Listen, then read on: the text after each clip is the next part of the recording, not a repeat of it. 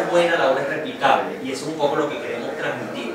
No porque vayamos a, digamos, a resolver todas las cosas que están allí, pero sí poder decir si un modelo funciona, uno de los retos fundamentales es, bueno, sin que esté uno en el día a día, cómo siembras esas semillas en otras personas de ese tren gerencial en la otra esquina de la ciudad. Cuando hablas exitoso, otras organizaciones o personas quieren modelar eso.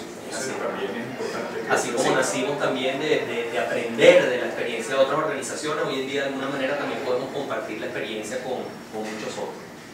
¿Cuáles consideras son las razones que hacen este centro de salud un, organismo innovador? Que por cierto, es ganador del premio Eureka a la innovación para el cambio social. Yo creo que hay tres elementos claves eh, de alguna manera que hemos, que hemos evidenciado en, en Santa Inés con esas características. En primer lugar, la orientación a la excelencia, es un tema fundamental, una gerencia orientada a la excelencia, y un poco lo resumimos a veces en una frase que puede ser un poco dura, pero que de alguna manera refleja esto, no por ser un centro de salud para pobres, somos un pobre centro de salud. La idea es tener absolutamente lo mejor para cualquier venezolano que quiera, que quiera acceder a nuestros servicios, tanto así que hoy en día incluso recibimos, mira, tanto un profesor universitario como a una señora de Carapita, de La Vega, de cualquier sitio. El otro elemento yo creo que de estas, de estas claves está en el enfoque hacia la gente, tanto la gente que servimos como la gente que, que, trabaja para nosotros, es decir, ser una institución realmente competitiva, formar a nuestro personal, seleccionar a la persona que realmente sienta que en Santinés puede hacer un trabajo positivo. Esa es otra de las claves, la gente.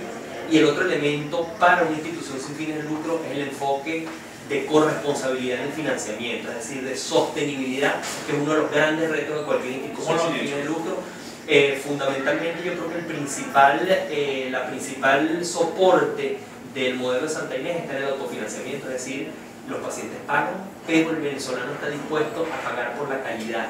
Evidentemente unos precios súper razonables porque ese es el modelo fundamental, haciendo todas unas cosas, por ejemplo, entonces otra parte del modelo es todo nuestro equipamiento vía, viene vía responsabilidad social empresarial, donaciones, proyectos. que las empresas que tengan interés en esto pueden incorporarse. Sin duda alguna estamos buscando muchísimo que queremos incorporarse, tanto empresas como personas que en lo individual, con lo que tengan, tenemos también una campaña para eh, tener recursos que nos permitan a, pacientes que ni siquiera puedan pagar nuestras tarifas, en Santines nadie se va a por de pago.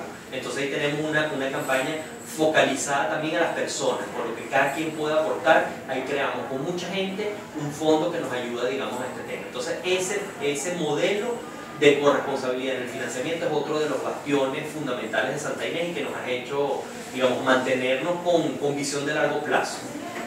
Ahora, es necesario difundir este tipo de modelos porque hay aquí un encuentro entre la universidad, las comunidades que están cercanas a la universidad, las empresas y claro, un modelo o una idea que efectivamente funcionó en la visión de ustedes, cómo se puede reproducir esto en otros ámbitos eh, sociales, económicos de Venezuela. ¿Han, tenido conexiones con otros organismos, instituciones públicas o privadas? O, o proyectos, proyectos conjuntos con otras organizaciones, de modo que esto se pueda multiplicar. lo, lo, primero es ver que efectivamente existe. Es decir, que, que, eso que se pensó que fuera desde el punto académico, desde el punto de vista académico, uno puede decir, bueno, vamos a hacer una tesis, entonces uno parte de una hipótesis, bueno, ahí puede haber un modelo que es un servicio de salud gerenciado por venezolanos con estas características funciones. Aquí está, tenemos 14 años, donde lo primero que podemos decir, la cosa funciona. Eso sí, funciona poniendo el detalle en el día a día. Es decir, no es, bueno, solo funcionó y creamos una idea, sino que trabajamos todos los días por mantener, por cumplir el ABC, por los pequeños detalles, por hacer las cosas absolutamente todos los días. Y en función de las alianzas, evidentemente, parte de nuestro trabajo ha sido poder trabajar con otros. Todo este tema de redes, de trabajo conjunto, con otras organizaciones sin fines de lucro, con instituciones privadas, con empresas, con el Estado, quisiéramos poder trabajar más, de hecho en algún momento hemos tenido, bueno, hoy en día incluso nuestro tomógrafo, el 27% por ejemplo de nuestras tomografías hacemos a niños con cáncer referido al hospital de niños, ¿no? entonces hay otra organización que apoya, pero terminamos siendo un motor también o parte de un engranaje de una sociedad que necesita al Estado, que necesita a la empresa privada y que necesita instituciones sin fines de lucro que puedan decir, mira, este, hay un plus. y la gente que quiera hacer, estar ahí y, y, todo. Porque aquí también yo creo que, es muy importante la idea y los que creen en esa idea. ¿Cómo transmiten dentro de la universidad esta idea a los nuevos estudiantes? Porque imagino que una carrera eh, donde se entrega el testigo Claro. constantemente. Eh, eh, De hecho, el parque social busca es eso. El parque social lo que busca es que el estudiante universitario de la católica se involucre con la realidad del país.